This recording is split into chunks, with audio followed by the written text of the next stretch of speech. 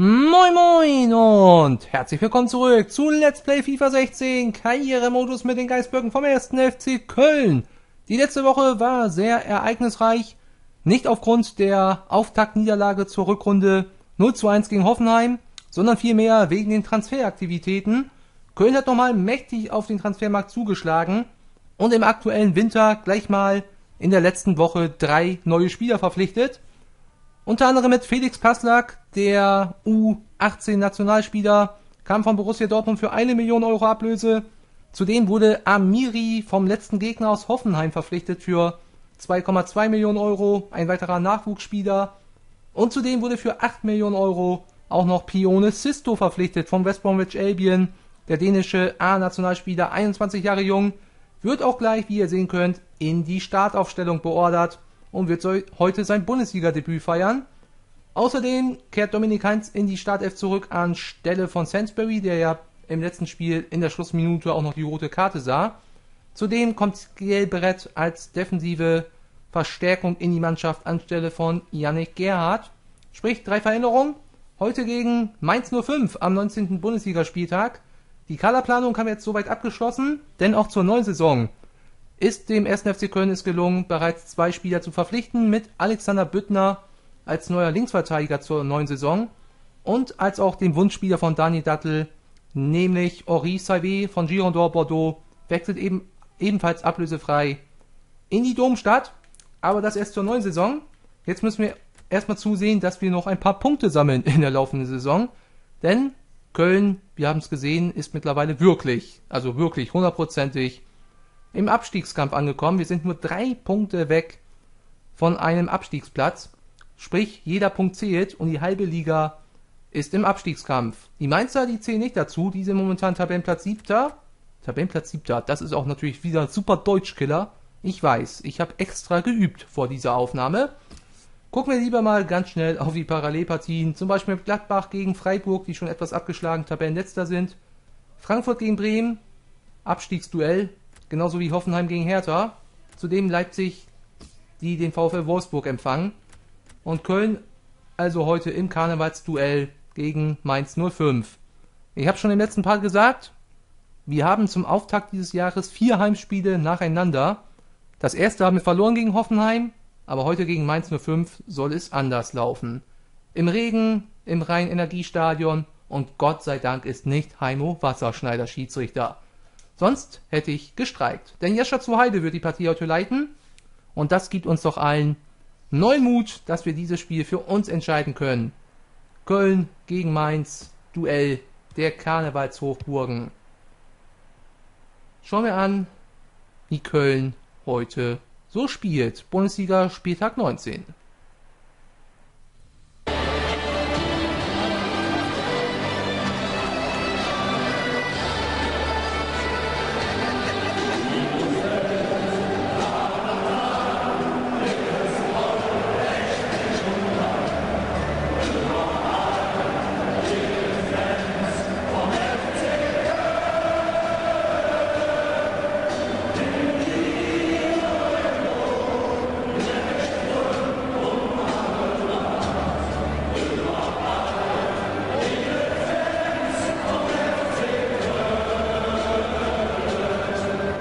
da haben wir ihn im Porträt. Sione Sisto, Spielerdebüt, der Mann mit der Rücknummer 27. Mit Unterhemd und schwarzen Handschuhen ausgestattet. Wobei, in England ist er nicht besseres Wetter gewöhnt. Da wollte ich gerade Schwachsinn erzählen. Von daher egal. Hoffentlich passt er sich den Temperaturen schnell an. Er heute also über die rechte Seite kommt, anstelle von El Yunussi zu dem Skillbrett und Dominik Heinz ebenfalls in der Startelf gegenüber der 0-1-Niederlage zum Auftakt gegen Hoffenheim.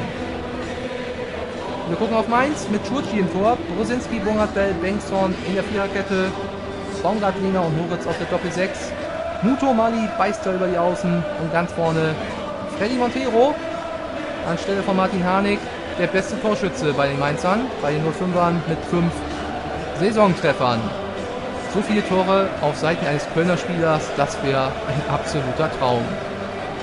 Okay, Köln, die Kölner Fans vielmehr, die sind einiges gewöhnt und erwarten auch nicht zu viel Ein Tor wäre schon klasse, wenn es zum Sieg reicht, umso besser. Und damit gehen wir in die Partie. Mainz stößt an von rechts nach links im ersten Durchgang im Dauerregen von Köln. Müngersdorf. Und wir müssen einiges besser machen als im letzten Spiel. Erster Ballgewinn, wollte ich sagen, denkste von Skelbrett. Ball ist wieder zu einem Gegner gesprungen. Das war im letzten Spiel auch extrem häufig zu erkennen. Wir haben zwar viele Zweikämpfe gewonnen, aber die Bälle sind die von Zauberhand wirklich immer und immer wieder zum Gegner gesprungen. Bittenkurt mit dem ersten Antritt und mit einer ordentlichen Flanke. Zweiter Versuch, Bittenkurt bitte abgeblockt, aber alles fair sagt. Jascha zu Heide. Erster Konter über Baumgartlinger, aber der Ballverlust. Skelbrett, Schlupp. Osako, Marco Höger. Bringt Osako zurück ins Spiel, aber gute Grätsche da von Stefan Bell. Sisto. Erste Aktion der Fußball-Bundesliga. Aber dann der Ballverlust von Höger. In den letzten Wochen eigentlich formstärkster. Bei den Kölnern gewesen. Fehler von Nico Bungert. Osako dauert zu lange. Vertändelt er den Ball im 16-Meter-Raum. Aber Köln erobert sich den Ball sofort zurück. Jeffrey Schlupp, dem wir unter der Woche ein neues Vertragsangebot gemacht haben. Vielleicht bekommt er dadurch ein bisschen mehr Motivation. Zur neuen Saison bekommt er mit Alex Bündner einen Konkurrenten für den Linksverteidigerposten, den er momentan auf jeden Fall sicher hat. Momentan, wohl bemerkt. Fehler Diekmeyer, leichter Ballverlust. Gute Grätsche von Heinz gegen Muto, der Japaner, der im wahren Leben so gut eingeschlagen hat. Aber Mainz gibt den Ball wieder her. Skelbrett, Dominik Heinz, nach zwei Spielen in Folge auf der Bank, heute wieder von Anfang an dabei. Sörensen, sein Innenverteidiger-Kollege. Skelbrett und Höger. Sisto hat ein bisschen Platz. Osako. Ah, da kommt Stefan Bell rechtzeitig aus der Innenverteidigung raus, bevor Osako den Ball spielen kann. Wieder Zisto. Erste gute Aktion auf dem Flügel. Zisto gegen Benson, aber dann bleibt er an Muto hängen. Aber immerhin Einwurf. Sucht eine Anspielstation, findet die in Marco Höger, aber der findet keine Anspielstation. Skelbrett, Podolski, Schlupp, gut rausgespielt. Die Flanke ist nicht schlecht. Bittenkurt, oh. Und dann der technische Fehler. Natürlich schwer zu kontrollieren bei diesen Wetterverhältnissen, aber von einem Leonardo Bittenkurt, der zumindest schon mal sein Länderspieldebüt hier gefeiert hat, kann man doch ein bisschen mehr erwarten.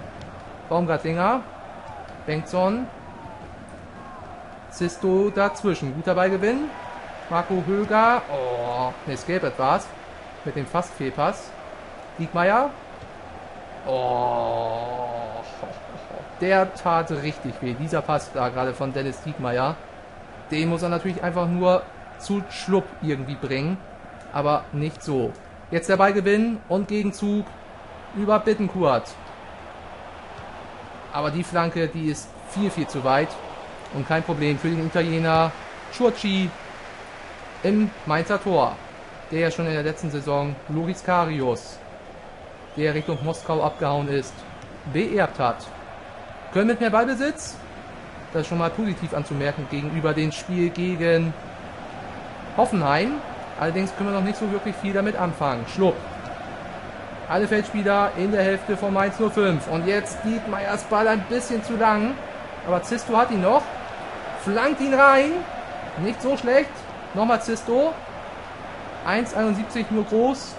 Aber ein echtes Kraftpaket. Ein echtes Kampfpaket. Ein echter Kampfwürfel. Habe ich letztens von Sky-Kommentatoren immer häufiger gehört. Scheint ein neues, modernes Wort zu sein. Ein echter Kampfwürfel. Schlupp, der Ball ist gut für Bittenkurt. Der ist auch gut für Marco Höger. Ah, schade. Aber trotzdem ein guter Spielzug. Aber Höger trifft den Ball nicht richtig. Ich habe es vorhin angesprochen, in den letzten Spielen eigentlich immer, oder zumindest Anfang der Saison, eigentlich immer Kölns bester Feldspieler gewesen. Aber in den letzten Spielen mit der ein oder anderen Nachlässigkeit. So wie Jeffrey Schlupp jetzt hier gerade gegen Maximilian Beister. Heinz bei ihm. Beister spielt sogar nochmal zurück zu Brosinski. Christoph Moritz. Nochmal zurückgelegt, aber dann geht Podolski dazwischen. Ach, Podolski. Ich habe nicht mal die Passentaste gedrückt. Habe ich echt gerade eine Taste gedrückt? Anscheinend ja, sonst hätte Podolski den Ball wohl nicht gespielt. Bengtson, das geht jetzt gerade ein bisschen zu einfach gegen drei Kölner. Am vierten bleibt er dann aber dann doch mal hängen. Konter Osako, Podolski, Osako. Oh, ein bisschen zu steil. Sisto schnell, aber nicht so schnell. Aber seine Schnelligkeit über den rechten Flügel, das könnte uns noch bestimmt in der ein oder anderen Situation nicht nur heute, sondern insgesamt in der Saison weiterhelfen. Skelbrett. Gut gespielt. Podolski links ist Platz für Bittenkurt. Was macht Osako da? Ach, er stand im Abseits. Aber den wollte ich ja eigentlich auch gar nicht anspielen. Warum hätte ich auch Bittenkurt da anspielen sollen? Das wäre ja kompletter Blödsinn gewesen, liebes Spiel. So geht's weiter mit Freistoß Bungert. Und Baumgartlinger führt den Ball. Bengtson, langer Ball in die Spitze. Sörensen, kein Foul am Muto. Montero, der ist schnell und wendig. Aber Sörensen wieder rechtzeitig hinten. Skelbrett. Guter Ball für Höger. Sisto. Wieder Höger. Und jetzt hat er mal ein bisschen Platz, der Pione Sisto. Und er ist auf und davon. Pione Sisto mit der guten Flanke. Churchi vor Osako. Zweiter Ball. Podolski. Legt ab. Skelbrett. Oh, was ist das denn für ein Pass? Ey, dafür würde ich ihn am liebsten direkt auswechseln. Holla die Waldfee, aber er holt ihn sich immerhin zurück. Dominik Heinz. Letzte Aktion vielleicht schon. Sisto nochmal, muss jetzt schnell gehen. Der spielt den guten Ball zu Marco Höger. und der will nochmal zurücklegen. Höger! Oh, Sisto kommt nicht dran. Stefan Bell klärt.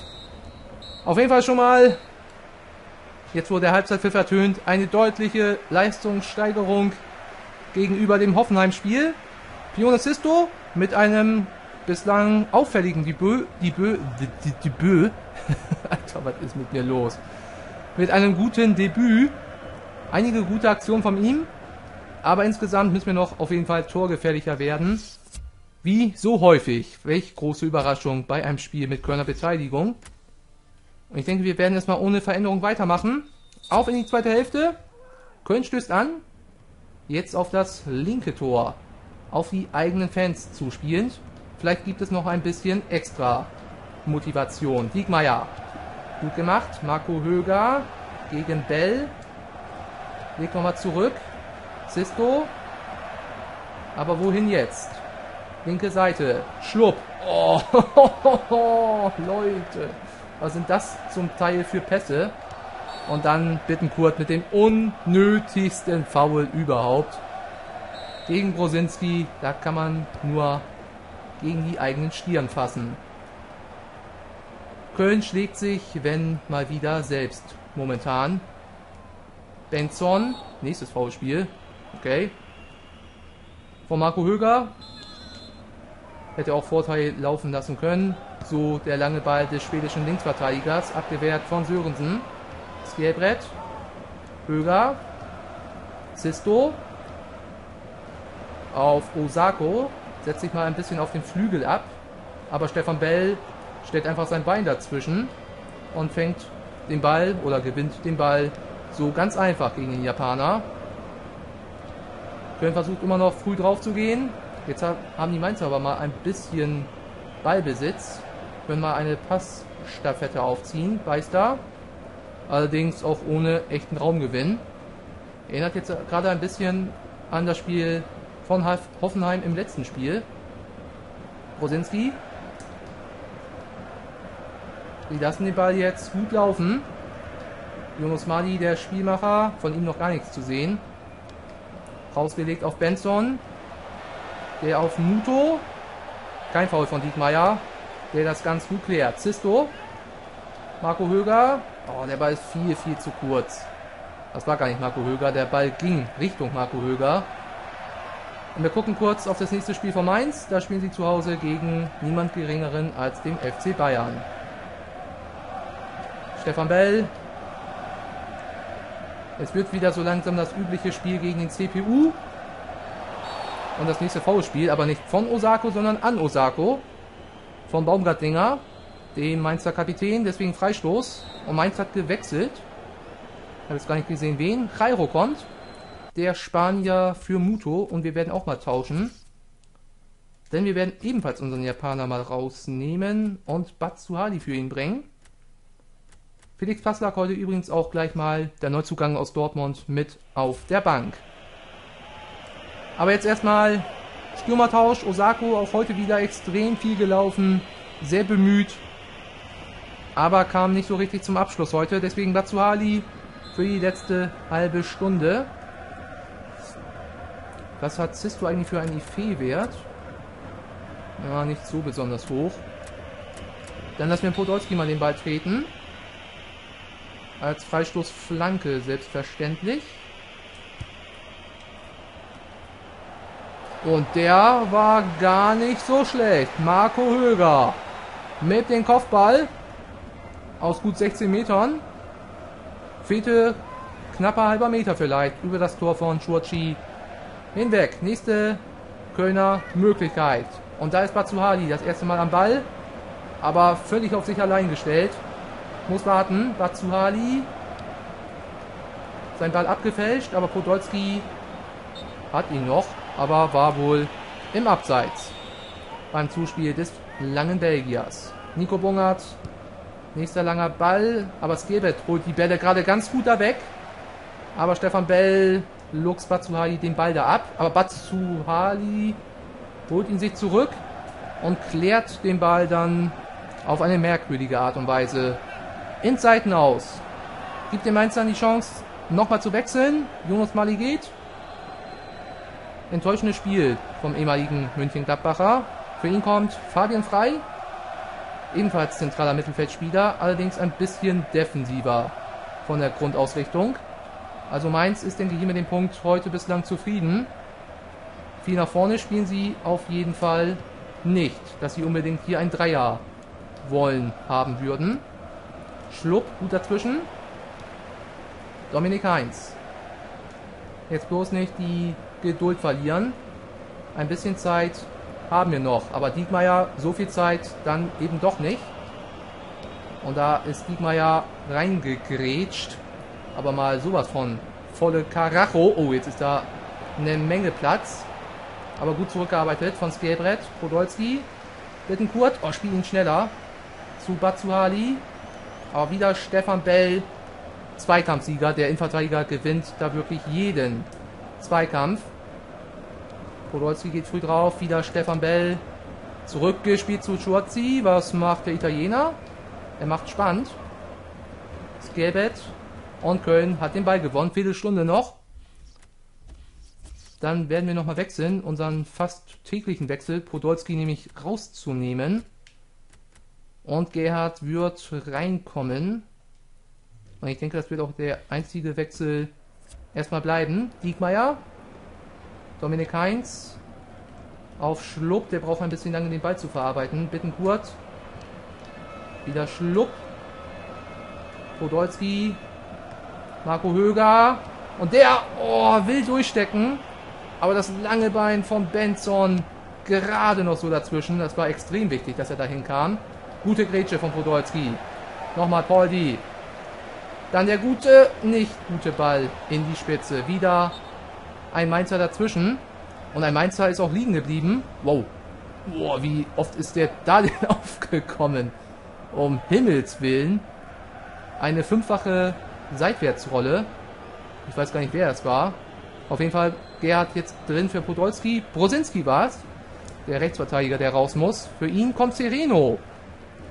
Der übrigens auch mal, ich glaube, ein halbes Jahr in Köln gespielt hat. Der brasilianische Innenverteidiger. Fairplay von Gerhard zurückgespielt. Und die Mainzer wieder mit der Ballkontrolle. Der lange Ball. Abgefangen. Oh nee. Oh, Bittenkurt. Also was mit dem momentan los ist, weiß ich auch nicht so recht. Keine Aktion möchte für ihn gelingen. Für die letzten Minuten nochmal El Yunussi.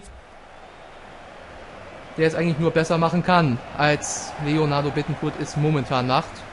21 raus, ja, du musst in die Richtung, wenn du rausgehen willst, mal lieber. Und Elionossi wird ihn ersetzen, der Norweger. Ah, Mann. Moritz mit ein bisschen Glück gegen Gerhard. Sörensen, Fabian Frei, das war gut gespielt. Kairo gegen Dietmeier, sehr gut verteidigt vom ehemaligen HSVer. Höger, nochmal der Gegenzug vielleicht. Mit Sisto, Batsuhali. Ja, aber dann wieder keine Anspielmöglichkeit, weil Batsuhali irgendwie im Rasen hängen geblieben ist. Und Timo Horn mit der ersten Parade in Minute 86. Und keine Kölner orientieren sich nach vorne, sodass wir auch erstmal wieder hintenrum spielen müssen. Diekmeyer mit dem langen Ball, viel zu lang. Keine Chance für den dänischen Neuzugang Sisto da ranzukommen. So Einwurf für Bengtson. Sisto geht drauf, aber Bengtson dazwischen wird dann noch gezogen. Zu Recht Freistoß natürlich für die Gäste aus Rheinland-Pfalz. Wieder Bengtson, der Linksverteidiger mit den geführten meisten Ballkontakten in dieser Partie. Und wieder will kein Kölner so richtig angreifen, bis Sörensen gerade noch so dazwischen geht. Und wieder der Ball in die Spitze. Zu kurz. Es möchte momentan nicht viel gelingen. Vielleicht doch mal Cisco. Jetzt müsste der Ball nochmal in die Spitze kommen. Wohin? Wohin mit dem Ball? Schlupp. Eine Flanke ist noch drin. Batsuali. Aber das war's dann. Keine Ecke. Wäre wahrscheinlich eh Abschluss gewesen. Und so endet auch das zweite Spiel im neuen Jahr 2017 für die Kölner Offensive. Ohne Tor. Heute haben wir zumindest kein Gegentor gefangen. 0 zu 0. Genauso wie im Hinspiel in Mainz. Fallen zwischen den beiden Karnevalsvereinen. Wenig Tore, wenig Grund zur Freude. Maximal für ihn hier, Pione Sisto. Ein gutes Debüt, vor allem in der ersten Halbzeit. Einige gute Aktionen heraufbeschworen. Davon wollen wir aber noch mehr sehen. Aber er ist erst 21 Jahre jung. Unsere ganzen Offensivprobleme auf seine Schulter zu verteilen, wäre des Guten natürlich auch zu viel. Das gesamte Team um Lukas Podolski muss da einfach wesentlich mehr machen. Zwei Möglichkeiten hatten wir auf jeden Fall heute, beide durch Marco Höger. Ansonsten war das kein wirkliches Offensivspektakel, was beide Vereine heute hier abgeliefert haben. Wir gucken mal auf die Noten, denn die waren immerhin, zumindest in der Defensive, sehr gut. Das Gelbe hat sogar eine 7,9. Bester Köln-Spieler heute, Batsuhagi nur eine 5,4. Osako nur eine 5,3. Hm. Sisto mit einer 6,6 zum Auftakt. Ganz, ganz ordentlich. Wieder kein Sieg, nur ein Punkt. Eigentlich zu wenig. Frankfurt 1 zu 1 gegen Bremen. Immerhin haben die sich auch die Punkte gegenseitig weggenommen. Leipzig hat verloren, habe ich gerade aus dem Augenwinkel gesehen. Gucken wir gleich nochmal ein bisschen genauer auf die Ergebnisse, wenn die Sonntagsspiele gespielt sind. Vorher mal kurz wieder das Training einstellen, wobei Gökhan Gül kann ruhig noch ein bisschen Passspiel trainieren, das ist ganz gut. Brot Finne möchte ich mal rausnehmen in dieser Woche und durch Sisto ersetzen. Der braucht Durchsetzen nicht unbedingt, denn die Werte, die er da trainiert, da ist er schon eigentlich relativ gut drin. Vielleicht kann er was mit Flanken machen oder so. Perfekte Vorlagen. Ja, Flanken und lange Pässe, das könnte er trainieren. Und ich möchte auch unseren anderen Neuzugang Felix Passlack direkt mal ein bisschen trainieren. Kurzer Pass ist er schon auf einer 71. Vielleicht kann er irgendwas in der Abwehr machen. El Rondo. Ja, da kann er seine Defensivfähigkeiten verbessern. Das machen wir mal. Und dann simulieren wir einmal alles durch. Note C, C bei den beiden Neuzugängen, B bei Bühl, der schon wieder sein Passspiel verbessert, sehr gut.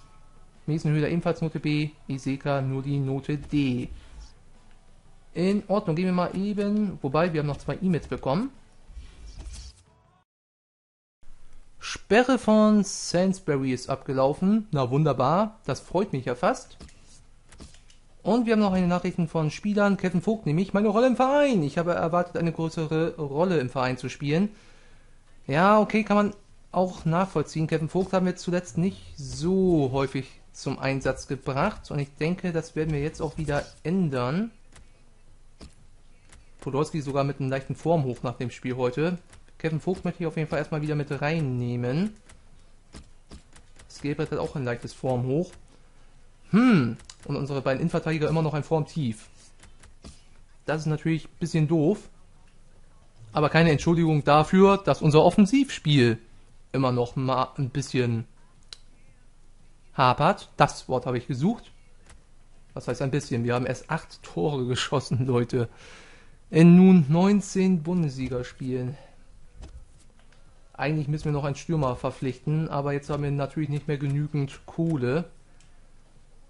Ein Della Fiore könnte die Probleme bestimmt durchaus verhindern, beseitigen oder vielleicht auch wieder eine neue Formation. Ich glaube, im nächsten Spiel werden wir höchstwahrscheinlich wieder eine neue Formation ausprobieren. Aber jetzt haben wir erstmal gleich das Ende der Transferphase. Bester Vorbereiter, Schaka im Visier vom AC Florenz. Interessant. Mehr oder weniger. Freiburg hofft bald zu verpflichten. Sorge um Brosinski, der sich bei uns gerade eben verletzt hat. Also im Spiel gegen uns natürlich. Äh, was hat er denn? Oh, Mittelfußfraktur. Fällt acht Wochen aus. Sah auch sehr spektakulär aus, wie er sich da fünfmal in, in der Wiese auf dem Platz herumgerollt hat. Und Schlupp hat schon wieder unser Vertragsangebot abgelehnt.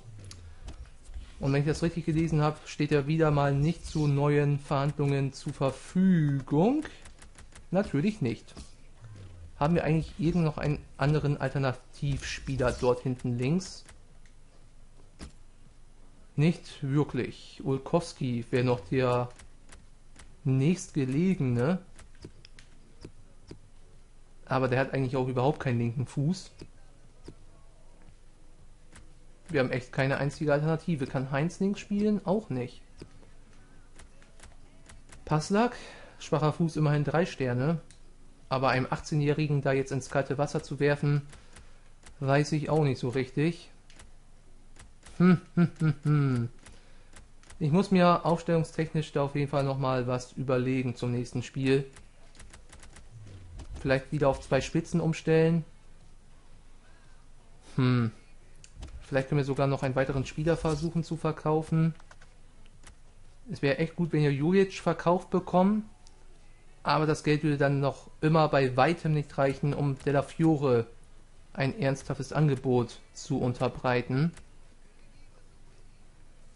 Hm. Hm, hm, hm, hm. Wir können ja ein Tauschgeschäft mit Batsuhadi vorschlagen. Ich glaube, das würden die Darmstädter sofort machen. Aber ein Tauschgeschäft ist vielleicht gar nicht so verkehrt. Ist nur die Frage, wen könnten wir als Tauschspieler anbieten? Normalerweise bin ich hier überhaupt kein Fan und Freund davon, von Spielertäuschen, tauschen, Tauschgeschäften, whatever. Aber zum Beispiel ein Sainsbury könnten wir eventuell da einbinden oder ein Ulkowski. Oder wir werden Ulkowski mal als Linksverteidiger testen. Hm, wäre auch noch eine Möglichkeit. Oder wir sprechen Schluck erstmal unser Vertrauen aus. Ich weiß es noch nicht, liebe Freunde. Auf jeden Fall haben wir jetzt noch den letzten Transfertag vor uns und wir sind jetzt schon angekommen.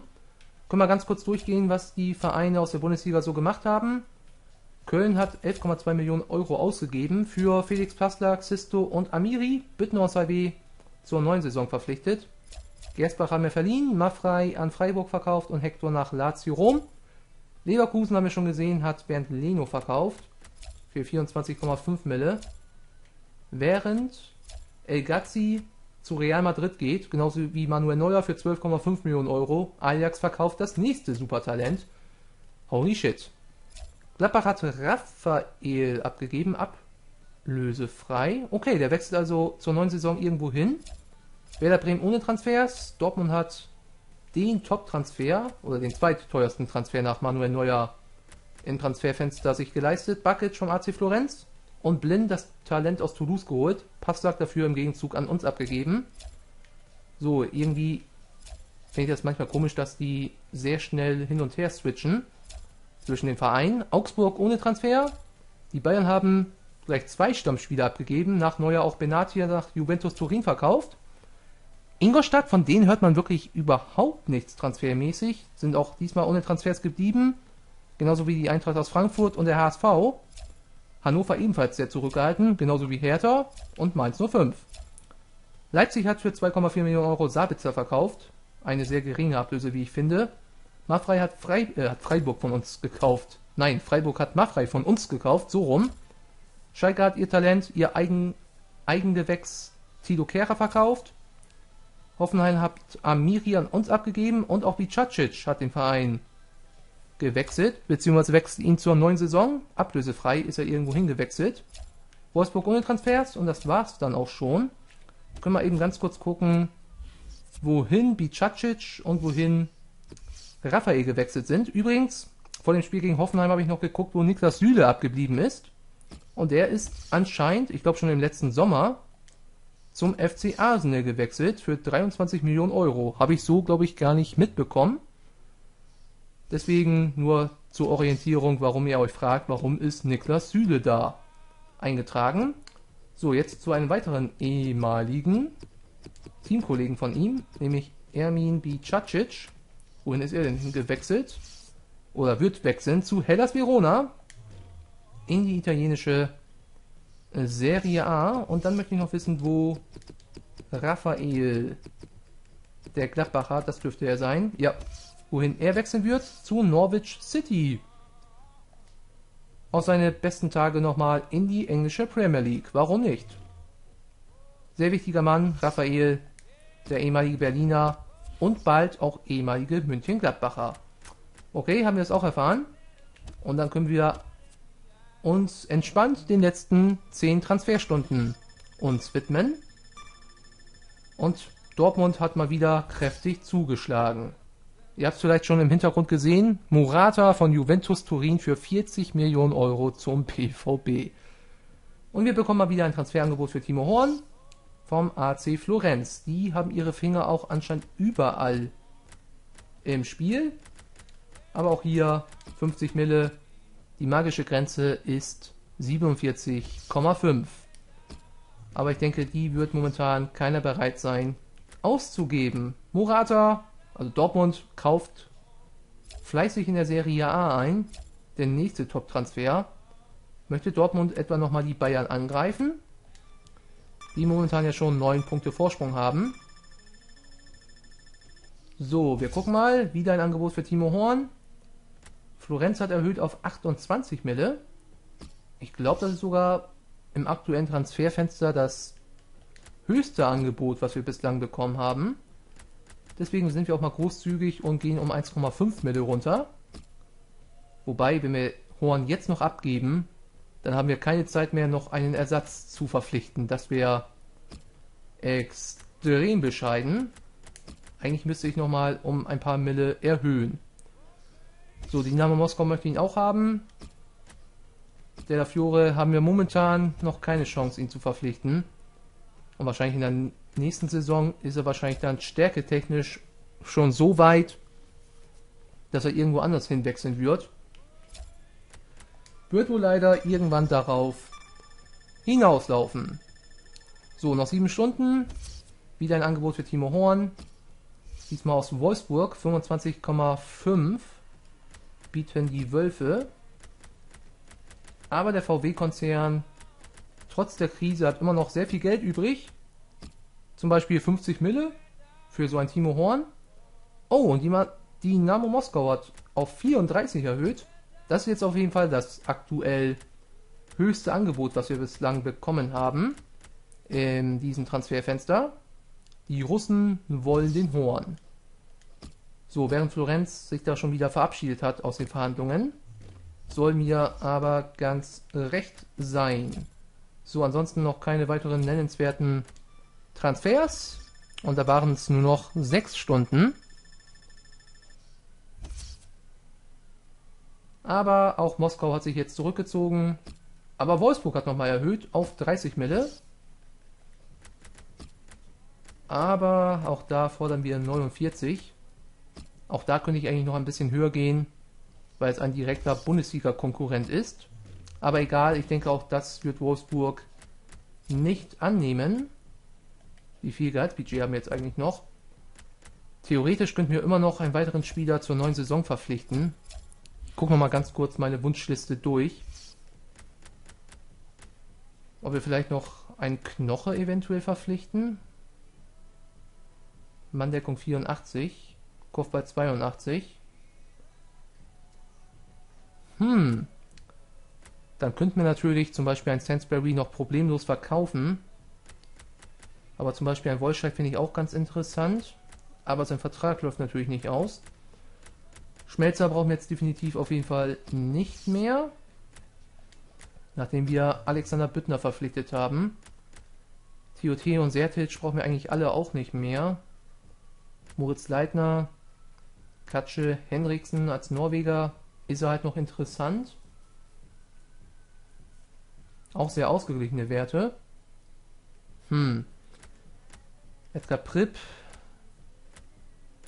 Oder noch so einen richtigen Hochkaräter. Wie zum Beispiel Intep.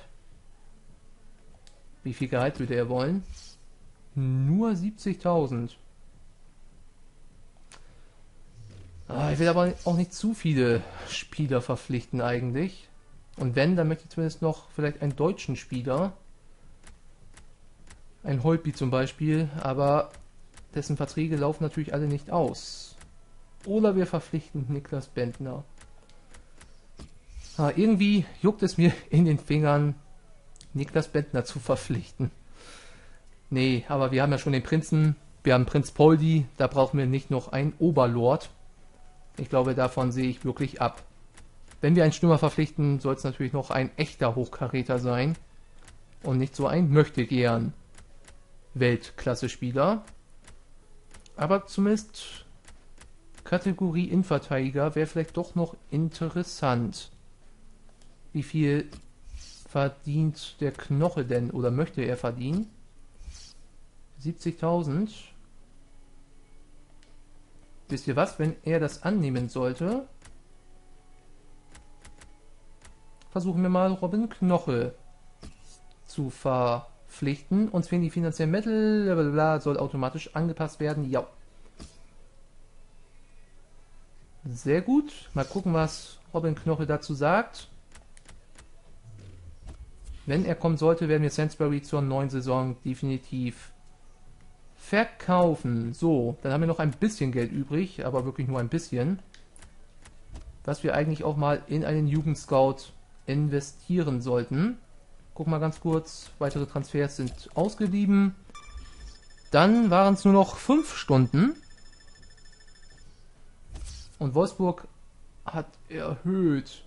Und Roche, Roche, ich sag schon, Knoche Robin. Robin Knoche hat akzeptiert liebe Freunde der Nacht.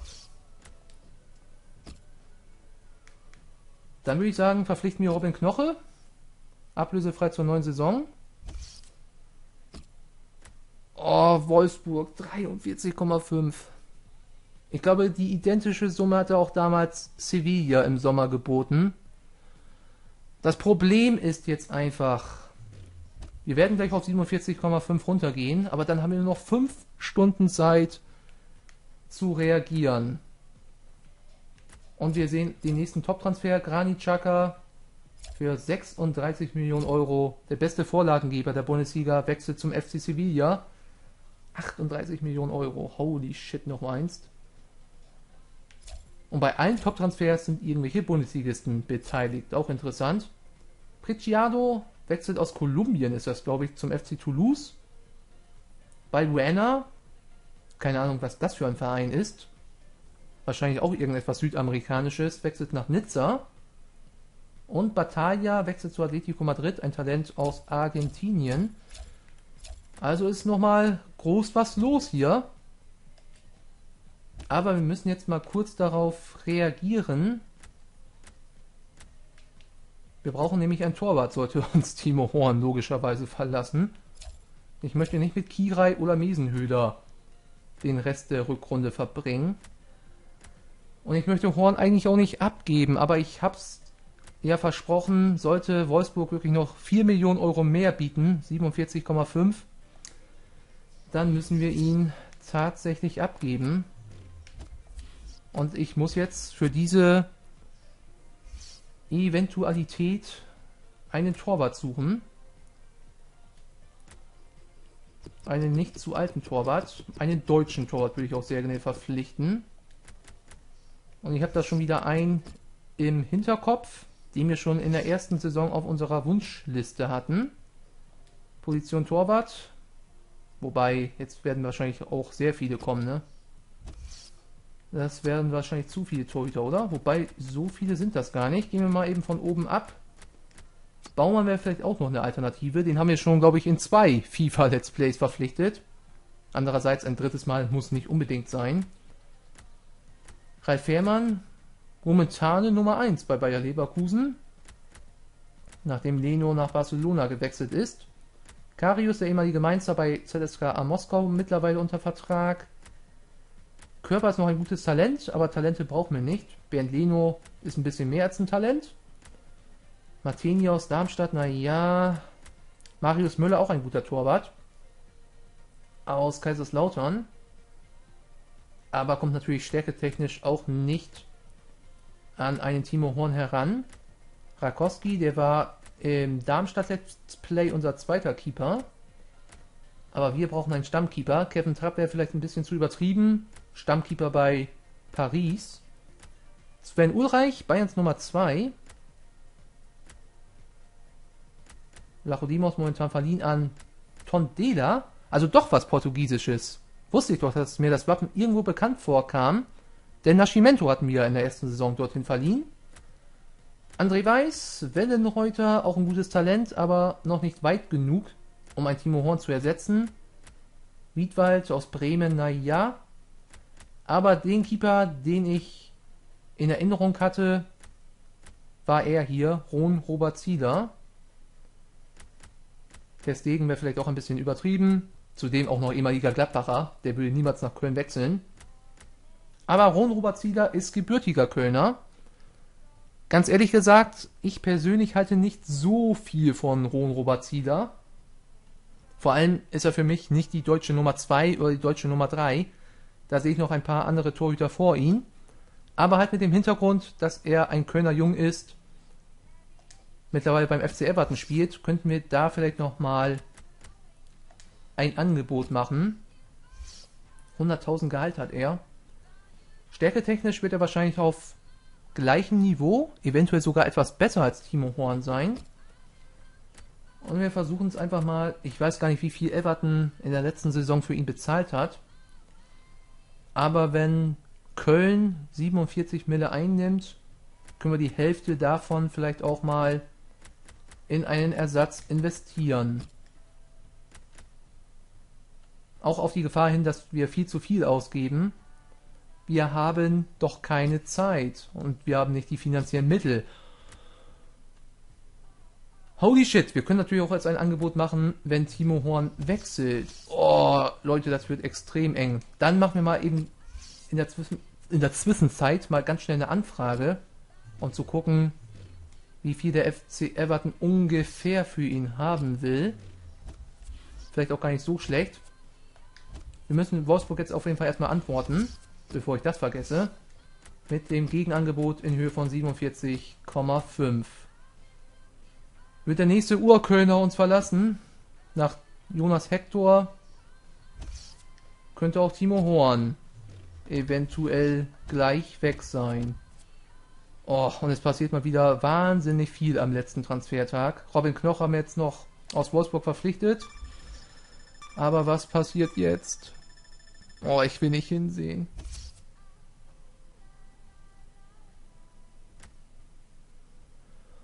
Puh. Okay, die ganze Aufregung umsonst, Leute. Wolfsburg hat sich entschieden, dass er nicht so viel wert ist. Dementsprechend, oh, guck mal.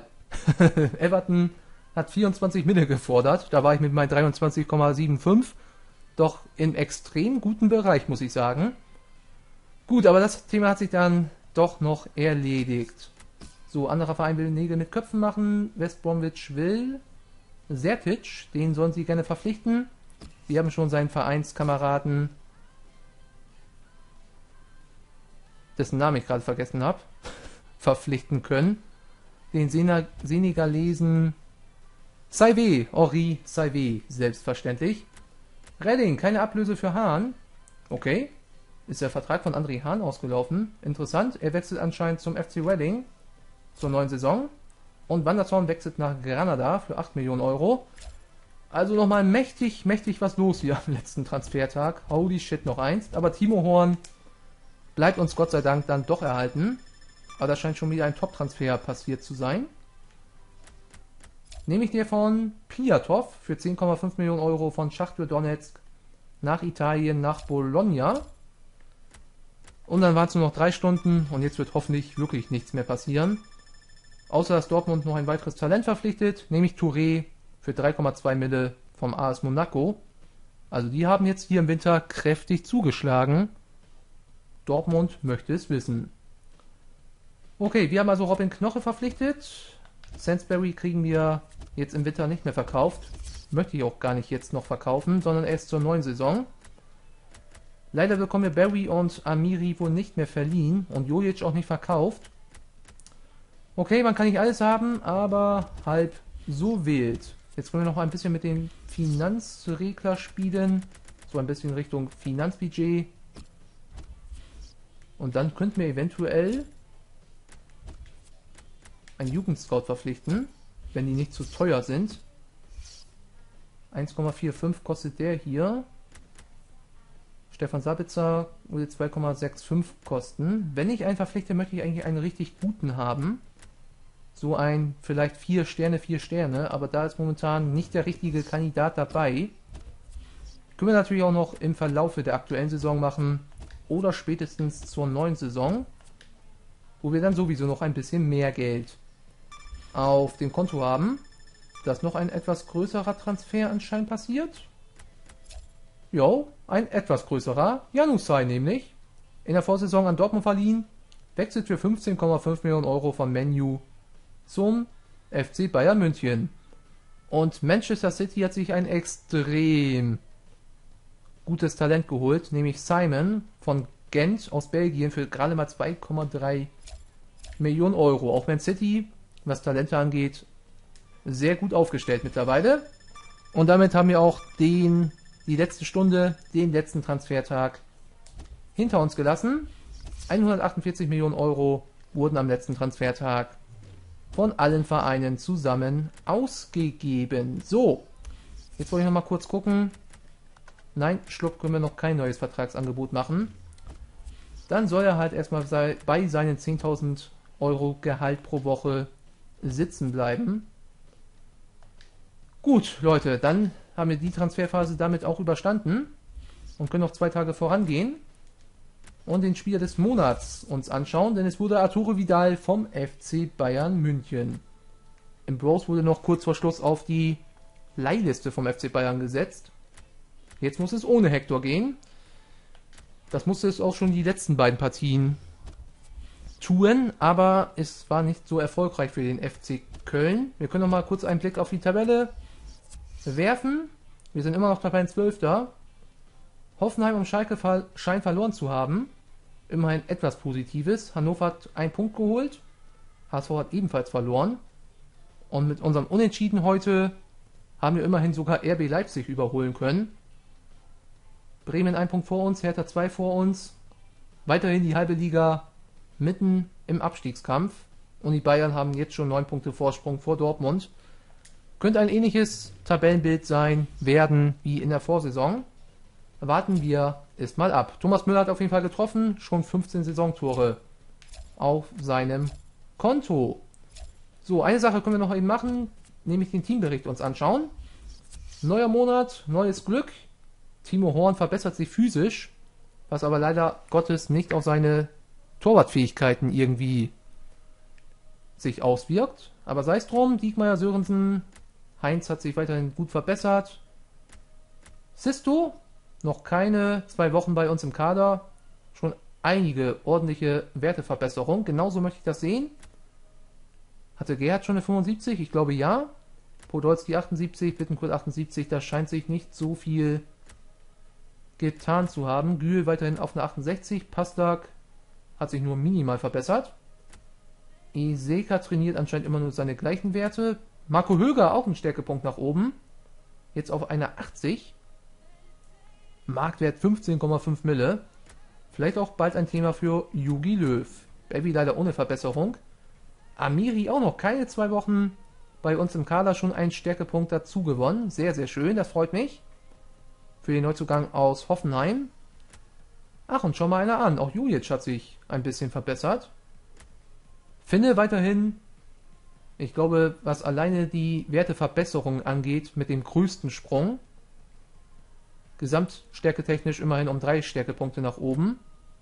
Elionussi weiterhin 73, Sainsbury werden wir im nächsten Sommer abgeben, da wir Robin Knoche verpflichtet haben. Denn Donker bleibt bei einer 73, Gersbach, Louis Schaub auf einer 74 hoch. Mal schauen, was wir mit ihm in der nächsten Saison machen, genauso wie mit Den Donker. Unser Kader wird viel zu groß sein. Und auch Klünter hat einen weiteren Stärkepunkt hinzugewonnen. Das war doch ein ganz guter erster Monat im Jahr 2015, äh, 2015, 2017 selbstverständlich. Allerdings nur auf dem Trainingsplatz. Die Ergebnisse in der Bundesliga waren alles andere als überzeugend. Wir gucken nochmal ganz kurz auf den Kalender und auf unsere nächsten Aufgaben. Unsere ersten beiden Heimspiele ohne eigenes Tor abgeschlossen. 0-1 Niederlage gegen Hoffenheim, 0-0 heute gegen Mainz. Und wir haben jetzt nochmal zwei Heimspiele nacheinander gegen den FC Augsburg zum Auftakt des 20. Bundesligaspieltages. Und vier Tage später treffen wir im Pokal ebenfalls zu Hause auf den SV Darmstadt, bevor es dann zweimal auswärts rangeht in Frankfurt und bei der Hertha. Das ist also der Fahrplan für die nächsten Parts, liebe Freunde. Wir haben mal wieder eine lange, ereignisreiche Transferphase hinter uns. Jetzt müssen wir nur noch dazu uns bemühen, umzusetzen, dass wir diese Ereignisse auch auf dem Platz ein bisschen heraufbeschwören, dass sich das dort auch widerspiegelt. Vielleicht schaffen wir es auch schon beim nächsten Mal. Beim leicht asiatischen Duell, links hier mit Osako und rechts, das müsste Q sein. Asiatisches Duell zwischen den ersten FC Köln und dem FC Augsburg am 20. Bundesligaspieltag, den wir uns hoffentlich beim nächsten Mal gemeinsam anschauen, wenn es wieder heißt Let's Play FIFA 16. Karrieremodus mit den Geistböcken vom 1. FC Köln. Transferphase vorbei.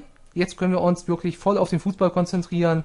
Jetzt zählen keine Ausreden mehr. Deswegen volle Kraft voraus. Ich hoffe, ihr seid wieder dabei. Bis dahin macht's gut und ciao, ciao, sagt euer Killer.